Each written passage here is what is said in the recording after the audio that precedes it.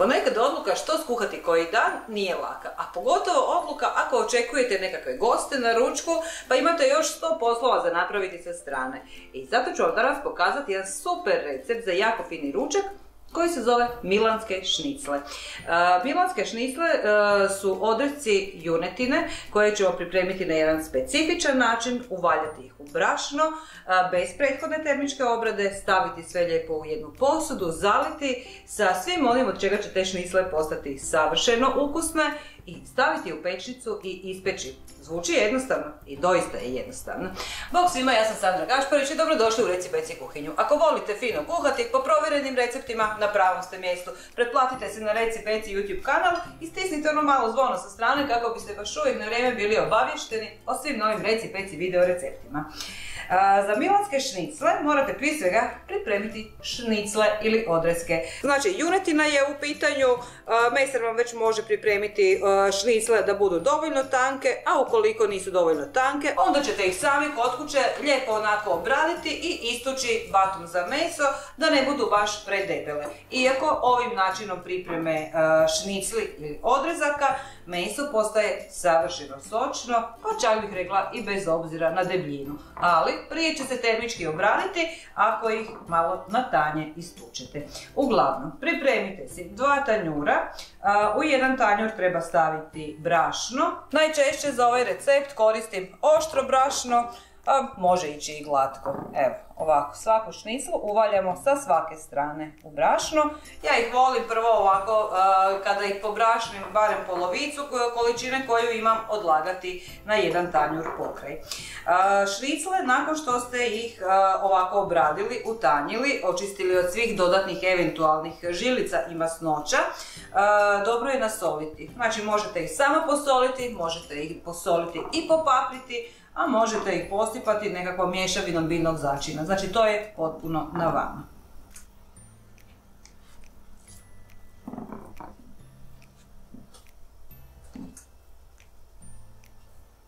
Inače za ovaj recept vidjela sam da ljudi često znaju koristiti i svinjetinu, znači odreske svinskog buta, meni je puno ovako ukusnije sa junetinom. Naravno možete vi probati na onaj drugi način, ali evo smisao ovog recepta je da junetina, pogotovo juneći but koji se evo najčešće koristi za ovo jelo, je onako komad mesa kojemu treba dosta termičke obrade kako bi postao mekan i podatan.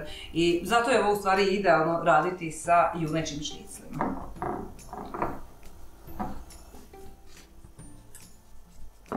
Idemo sada prigotoviti naše milanske šnicle. Znači treba vam jedna posuda koja može biti ili vatrostalna ili bilo koji lim za pečenje, ali mora imati ili poklopac, a u slučaju da nemate poklopac, onda bi bilo dobro da sve to skupa pokrijete alufolijom.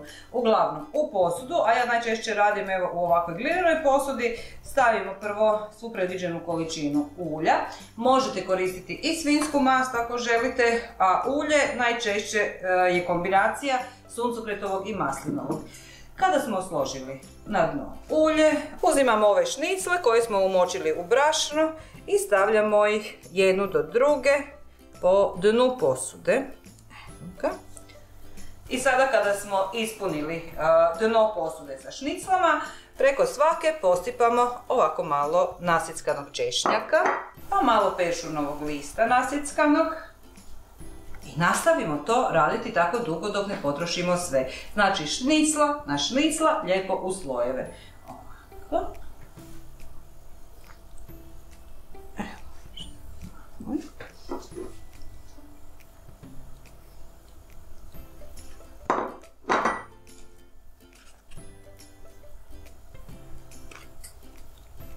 Sada idemo napraviti zaljev za ove naše šnicle. Znači treba nam tekuća rajčica ili koncentrat rajčice koji onda pomiješate sa malo vode.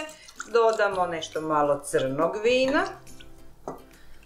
E, ja volim staviti e, ili suhe šljive ili ovako domaći pekmez od šljiva. To će baš dati onako jednu specifičnu notu ovome jelu.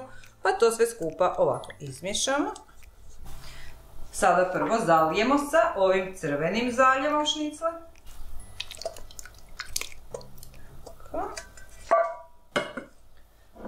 Sada dodamo začine, malo lovorovog lista, možete jedan, dva kako hoćete i mješavinu mediteranskih začina. Znači svakako neka tu bude i ružmarina, može naravno biti i suhi kao što vidite.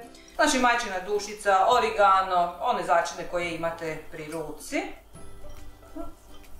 Dovoljno. I sada sve skupa dodatno zalijemo ili vodom ili goveđim temeljcem. Znači temeljac samo ovako izlijemo preko svega. I bit ovoga jela je da sve ove šnicle koje smo stavili budu potpuno prekrivene tekućinom. Evo ga. Znači tekućine bi vam trebalo biti otprilike jedan prst iznad svega. Znači ja ću napisati količinu sastojaka koju sam koristila za ovaj moj recept, ali vidjeli ste da ja ovdje radim dosta šnisli jer ima nas puno i imamo dosta ljudi na ručku. Znači ovo se može napraviti i u manjoj nekakvoj količini i onda ćete samo prilagoditi količinu onome koliko mesa imate. Znači vodite se uvijek prema tome da vam šnicle moraju biti zalivene tako da budu sve prekrivene i da bude otprilike prst, prst i pol iznad njih I to je ljudi, dragi moji, to.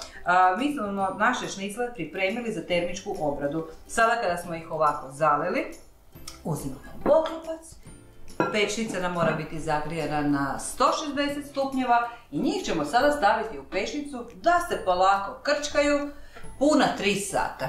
Nakon 3 sata treba doći, pogleda, otvoriti, pa malo sve skupa onako uz pomoću jedne kuhače promiješati i ostaviti možda još jedno dodatnih pola sata. E, kada budete izvadili svoje šnicle iz pešnice nakon, te, nakon ta 3 sata, svakako znači sa vilicom probajte onako jednu i vidjet ćete da li je dovoljno mekano. Ako nije, a može se dogoditi da imate nekakav stariji komad ili čak govedine, onda ćete trebati produžiti još malo vrijeme tog pirjenja. E, šta je super s ovim šniclava? Pa to što smo mi sad u biti gotovi sa svim poslom. To je to. Znači, 3-3,5 sata mi apsolutno ne moramo gledati na njih u pečnici, zato što će se one sad polagano krčkati na tih 160 stupnjeva. Znači, zagorjeti neće, stavili smo i ulje. Dovoljno tekućine imaju, šnicle su umočene u brašno i upravo to brašno u koje su umočene će, kako se polako bude krčkalo, napraviti prefini umak, taman, savršene konzistencije kako umaci trebaju biti. E, za to vrijeme dok se to lijepo samo od sebe radi u pešnici imamo vremena za šta god hoćemo. A s obzirom da radimo ručak, dobro je napraviti i neki prilog uz ovo jelo, tako ću ja iskoristiti ovo vrijeme i napraviti fine domaće njoke. I jesmo spremni za trenutak istine? Hvala! Milanske šnicle su gotove, ja sam ovo moje meso obrađivala puna 3,5 sata. Nekad mi treba manje, nekad treba duže. Sve ovisi, kao što sam vam već prije rekla, o vrsti mesa, najviše o vrsti mesa. pa sam procijenila nakon 3 sata da stvarno treba još malo. koliko su ove šnicle mekane, evo sad ćete moći vidjeti jer jednu ću izvaditi na tanjurić, čisto da vidite da je to meso savršeno mekano, da nam skoro ne treba niti nož za njega. Vidite kako se fino razdvaja. To je to što smo htjeli postići. To je ta ljepota ovog recepta koji stvarno nije ništa kompliciran, nije ništa onako ekstra, ali jako je jednostavno i nemate puno posla s njim. Znači, baš zahvaljujući toj sporoj, ali prilično dugotrajnoj termičkoj obradi, meso postaje jako, jako fino, mekano i podatno. E sad, što vam se može dogoditi da baš ne ispadne ovako?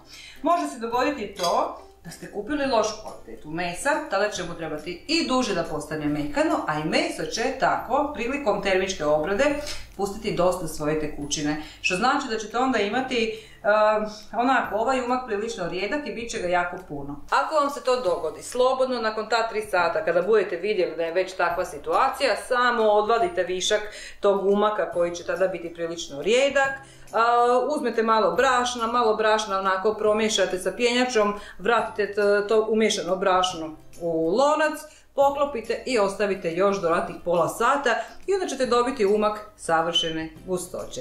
I to je to. Ovo jelo, milanske šnicle, najbolje pašu uz njoke. Meni barem tako najviše odgovara. Neki ljudi vole uz to poslužiti i pirjenu rižu ili čak krumpir pire, ali njoki su savršeni. A ja imam jedan savršeni recept za njoke upravo ovdje na ovom kanalu. Potražite, napravite. E, to je to od mene ljudi moji za danas. E, idemo jesti, idemo poslužiti ovo uz njoke, uz još nekakvu finu salaticu. A vi naravno napravite što prije. Pišite u komentarima kako je ispalo i budi budite uz Reci Peci i neki sljedeći put. Bog svima, vidimo se!